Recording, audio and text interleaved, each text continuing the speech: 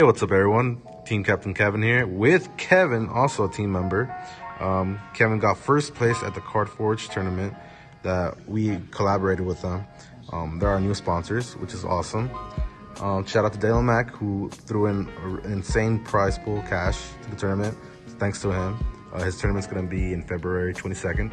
So make sure to register for that. It's going to be huge, really competitive teams. West Coast, East Coast will be there. So check it out. And Kevin, so first place champ, what did you play? I played Tricolor Broly. Tricolor Broly. We know that that deck is super busted because of button and all that. Um, how did you do um, during the tournament? Uh, I did pretty well uh, during S- Swiss. I only lost once, and that was to Marcus Contarsi. And uh, and the other the other one was I went X one once. That means I drew with a Beerus player, Le- Leo. Oh, okay, cool. Yeah. And then you obviously it was a top 16 uh, cutoff for uh, playoffs, correct? Yeah. And how many rounds was it for the Swiss? Uh, for the Swiss, I believe it was six rounds, Six rounds. So it was a pretty heavy day. Um, top 16 uh, playoffs. and then had to play it the same day. Yeah, it was a long day, but really awesome. Um, Kevin, let's just start the deck profile. All right. Well, you got the Broly leader. Obviously, Broly's good. Yeah, and the back ability even better. All right. and it really helps with a lot of situations. Okay, so first off, I got Android 21. Uh, this card uh, helped me steal a lot of games, Mm-hmm. and uh, that's basically what it is for. If you see this in your hand, just uh, charge it. Yeah, easy charge for burn, right? Yeah, easy charge. Alright, and, so- and then I also have what you're also gonna charge for your multicolored green blue is the Android 17. I played on map a couple times and uh, it, it helps when it comes to when your opponent combos multi and you don't want them to. Okay. And then I also have Android 16. That's your ramp engine. Play four of those. Okay. Yep, play four of those. So I have a total of 10 uh, uh, green blue multicolored. And then for my super combos, I played Jocko's. Okay. It could be anything. I didn't have any shoes. so- some super combos. yeah, I need All some right. super combos. And Then I played. Well, whoops. I played three UIs. Three UIs. Okay. Uh, being able to bounce it to your hands, anything. It, it came in clutch a lot. I played the one, uh, double strike. Uh, this is for just in case I needed to go double strike, even with leader. You Yeah. know, anything. And then I played three piccolos. How how good was that card for you that day? Oh, it helped me dominate the board. Yeah. Because once this is out, it's just the board is kind of shut off for my opponent if they're not really if they're not playing like a mirror match. It really helps with almost everything. awesome. And then I got this piccolo. And then that's just to bring it out. Once this is out, it's just the board is kind of shut off for my opponent if they're not if they're not playing like a mirror match. It really helps with almost everything. Awesome. And then I got this piccolo.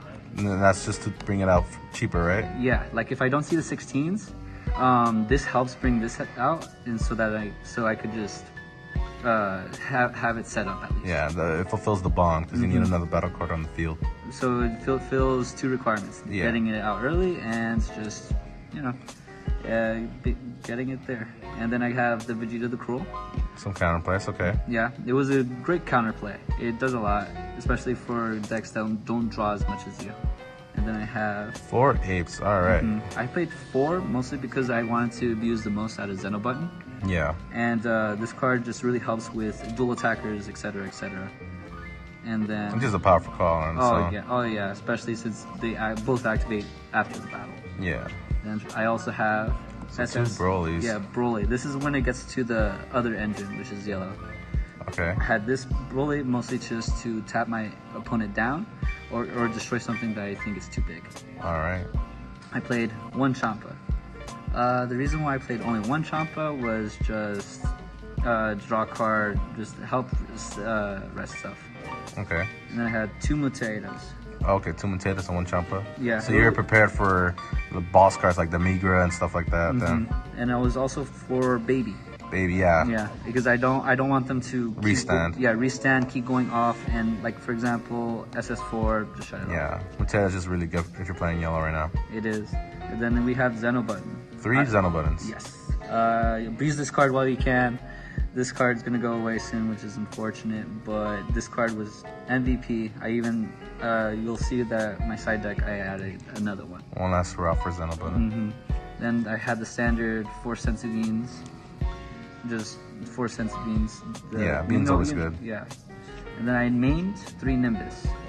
So that was your defense. Yeah, Or- this was my defense, uh, and I had a bunch of uh, like eights, etc., et cetera, et cetera, yellow cards I needed Yeah. to ditch off of it. This was meant purely for the baby matchup, which surprisingly enough, I didn't actually get to play at the event, but it helped against other matchups. all right, nice.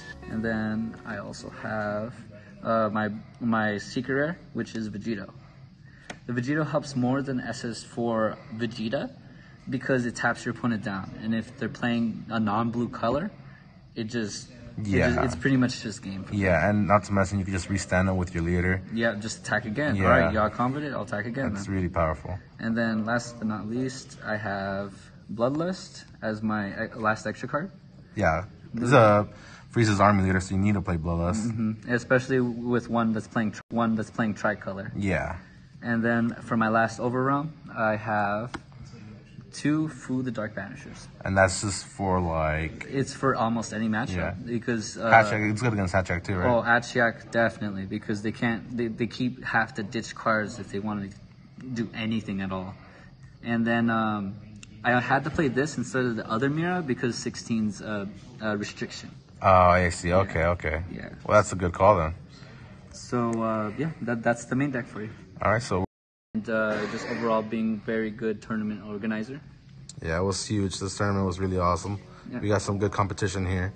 We could hold lots of players here. So, um, thank you again, Cardforge, for hosting the tournament, and thank you to Daylon Mack as well. Mhm. Uh, make sure to go to their Tournament of Power, which is the 22nd of February. Uh, there's going to be a huge cash prizing, so make sure to be there. Yeah, and also uh, there was top 16 got the uh, free invite, so a lot of our players are going to be going over there to support Daylon Mack and compete. So you'll be, you'll be seeing us over there, Yeah, which is going to be awesome. And any last shout outs, Kevin? Mm, How about for your team? oh yeah, oh yeah, of course, yeah.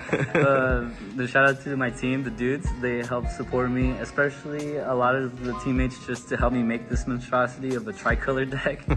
uh, but it, uh, just I'm very thankful for them too. For All right, helping me out. awesome. Thank you so much, Kevin, for the deck profile, and we'll be seeing seeing you soon for more events. All right. All right, catch you later, dudes.